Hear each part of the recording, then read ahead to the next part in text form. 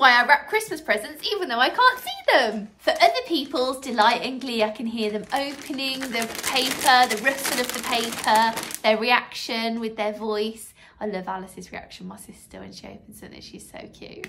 Lovely tactile present toppers.